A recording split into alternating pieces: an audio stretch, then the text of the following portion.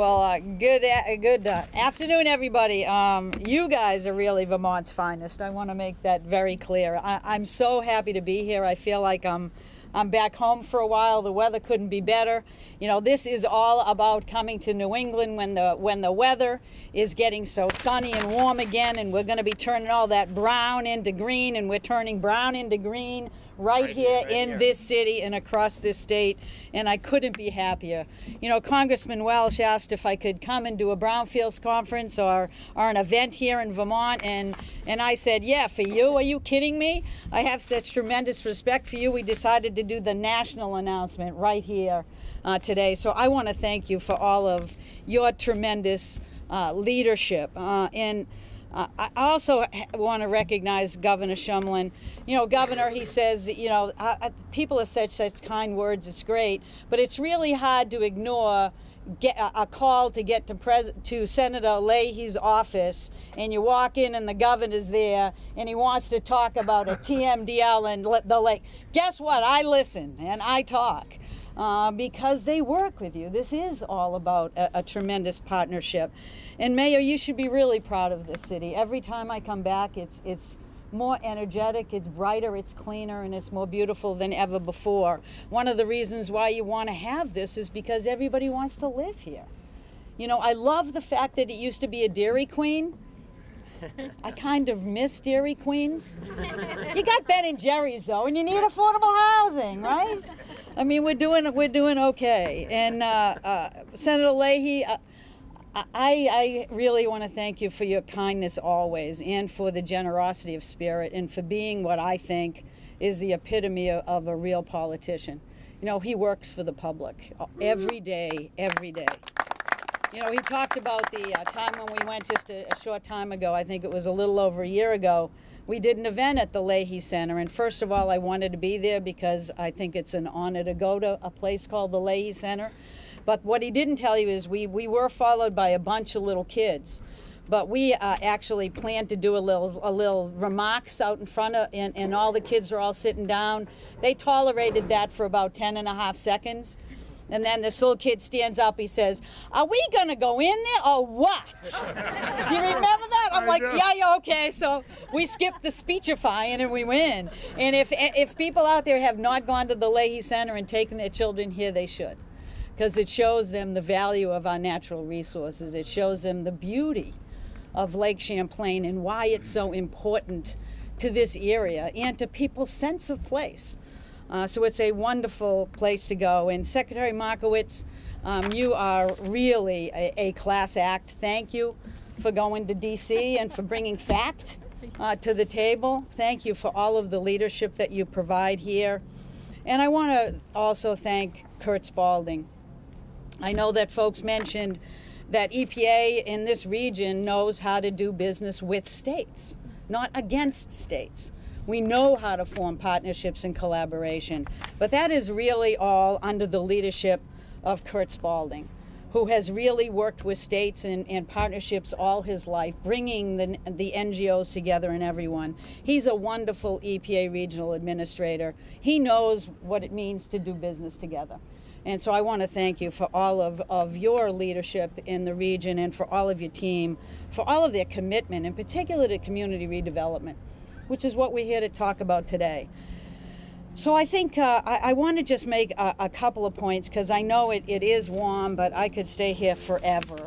Uh, but really, this is about a partnership. It's about bringing a number of different resource pots to the table, getting those to collaborate and work together and leverage one another's resources and energy. In this site, it was about the Chittenden County Regional Planning Commission that invested 38,000 to do an assessment and a cleanup plan while the Vermont Agency of Commerce and Community Development lent 400,000 from its Brownfields revolving loan grant to the developer Redstone for the cleanup. It's about a developer who knew how to get the job done. They invested 5 million to build 28 housing units at Maiden Lane. The owners are here. Justin Dextradeur, are you here? There you go, Justin. And Eric Hoekstra, are you here as well? He couldn't make it. We don't like him anymore. No, I'm only kidding. but it is, thank, please thank him for me because it's a tremendous success story. And I want to thank Kirsten Bourgeois for all of, of the work uh, in Vermont, ACCD. Where are you? I saw, there you are. Kirsten, thank you so much. It's a tremendously successful Brownfields Revolving Loan Fund you use it wisely, it really is a model for the rest of the country. And that's one of the reasons I'm here, is that if people learn from you, we will all be better off. So thank you for all of that. You've funded 23 cleanup projects statewide, many of them in small rural communities that desperately need those resources to come to the table. Now, this project is just really emblematic of the work that our EPA Brownfields program invests in. We do this every day, working with communities to revitalize neighborhoods, to open up opportunities for growth, and that in and of itself will create new jobs since the program's incentive. For every dollar invested in EPA's Brownfields program, communities have leveraged $18 in public and private funds. That's a total of nearly $21 billion in cleanup and redevelopment and more than 100,000 jobs as a result of this Brownfields program. It is the one program in EPA that is assured of bipartisan support. I'm hanging on to this, baby. We need it every chance we can get.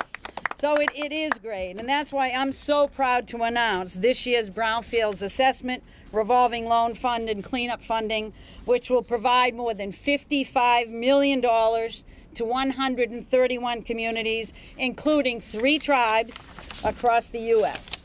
These funds will help assess and clean up blighted vacant properties across the country supporting the communities where environmental cleanup and new jobs are really needed the most.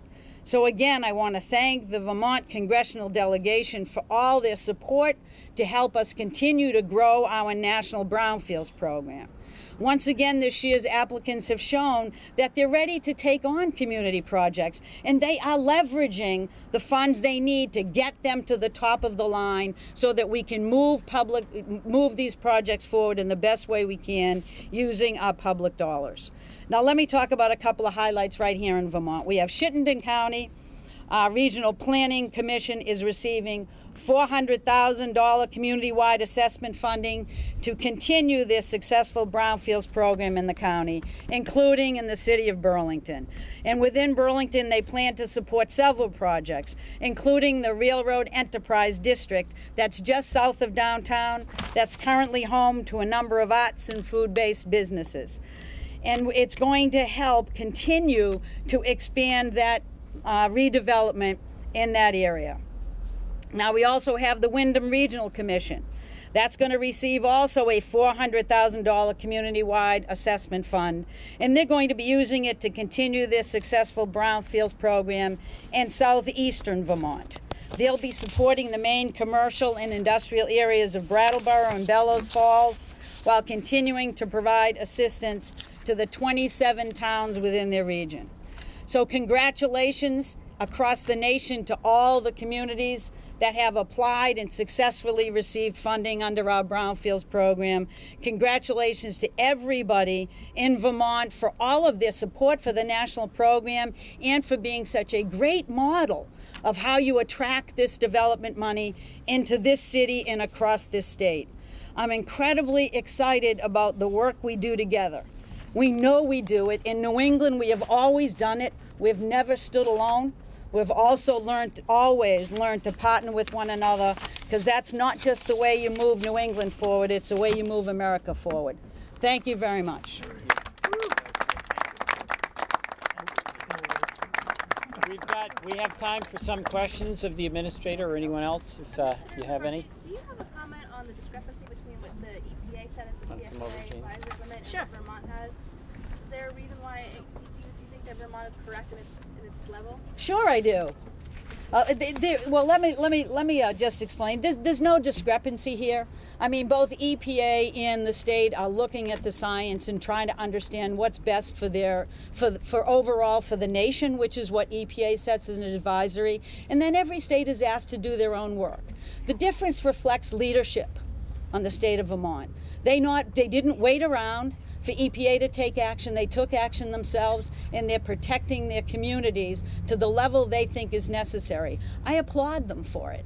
And, and the one thing to remember is that when you start getting at this chemical in your water system, you're going to use a technology that goes well beyond what both of those standards require. And you're going to do it to the, in the best way that you can. It's going to be cost effective and we're going to make it happen.